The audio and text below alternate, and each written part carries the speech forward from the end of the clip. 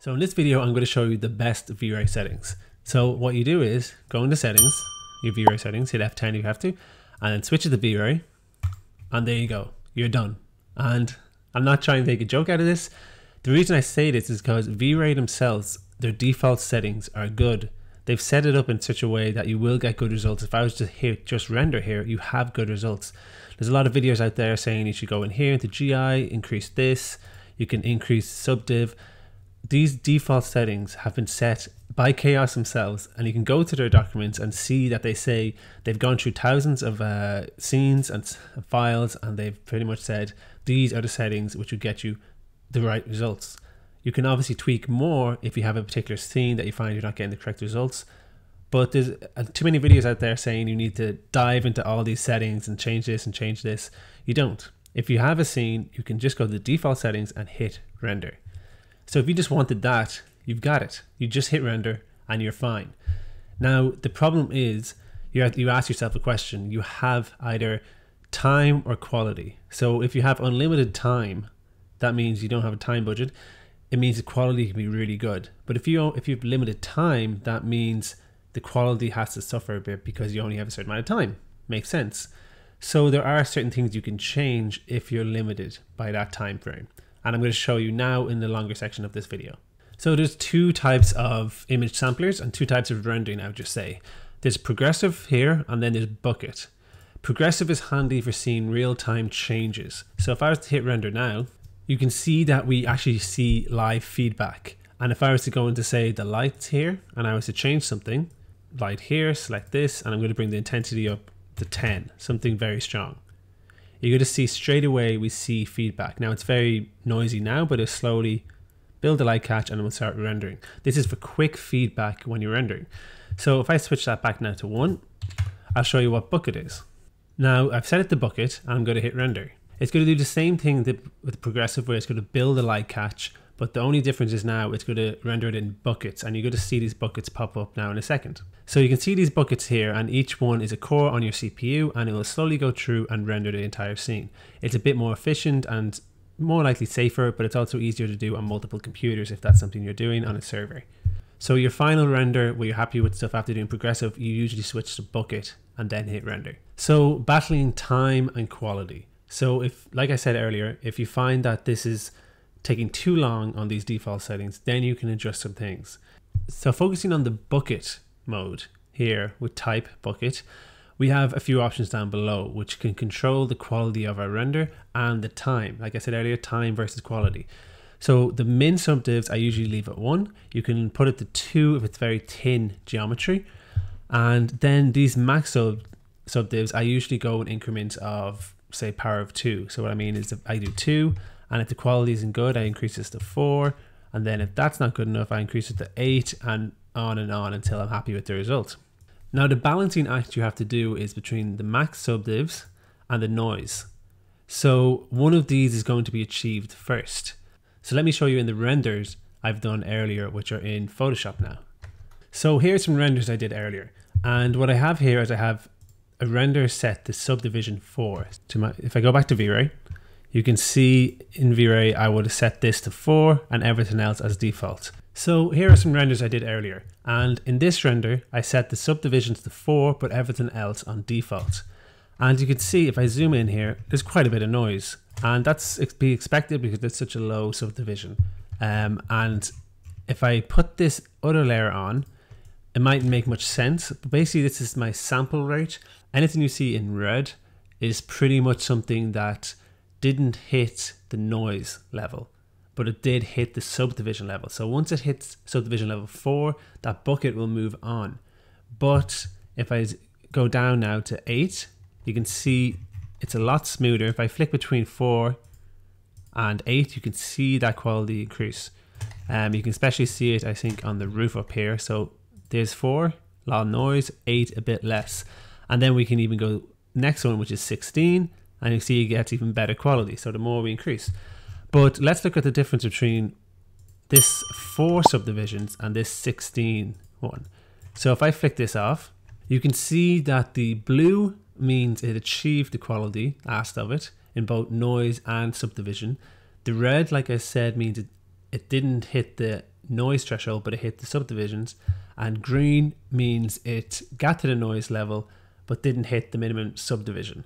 So this is the quality you have to find and fight. Most you want it mostly blue, and that'll be mean you're looking good. So to clarify that a bit more, I set the noise to one. So if I switch this off, you can see it's completely blue. And that's because it hit the noise level, but it didn't hit the subdivision levels because I set that to 10,000, an extremely high number. I basically said, just worry about the noise and follow through with that. Then I did subdivision one, the lowest subdivision, and you can see it's completely red. It's because it hit that subdivision, but the noise level was nowhere near achieved. So you might be asking yourself, okay, why are we going through all these settings?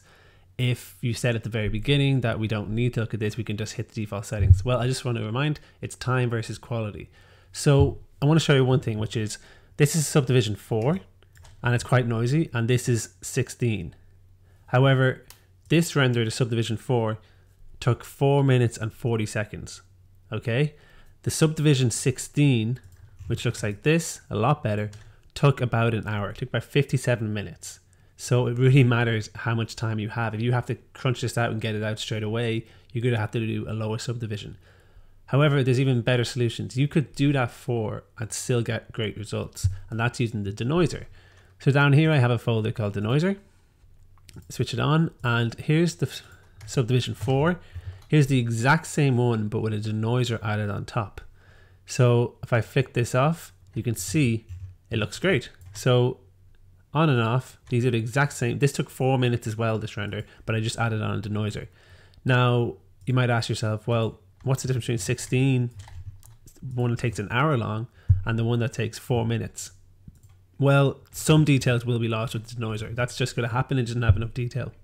So to see that visibly, if I zoom into this portrait and I switch this on and off, you can see that details lost because it's kind of just smoothed those details.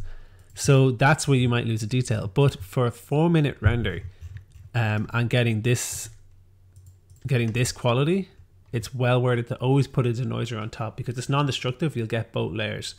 But that's a really good way to do it. So you could put a low value and low noise and then put a denoiser on top and you get great results. One other setting you might want to look at is this min shading rate. And this is kind of like be a universal thing where if you push this up, it's going to push up all the materials. So that's going to slow down your render, of course. And it's just going to, you could do with the max of this here as well. But in order to optimize your scene, you could crank this up, but again, it's that time and quality thing. Instead of cranking this up all a, a good bit, you can go into an object you feel doesn't have enough quality right click it and go to V-Ray properties and then you can change it in here. And you can increase these, increase the settings and make that individual object better for your render. Instead of having because you might have some things that are rendered perfectly and if you increase this you're bogging down your scene where you don't need to. You're making things higher quality and they've already hit their max quality anyway. So if you're wondering the best way if you're like well my render looks really poor. What can i do to make it look better? It's resolution so it's actually not in the V-Ray tab here at all. Yes, you can change these, but if your resolution here is too low, it doesn't matter what you do. And if you want an example, this video, go to the settings and change it to 720p.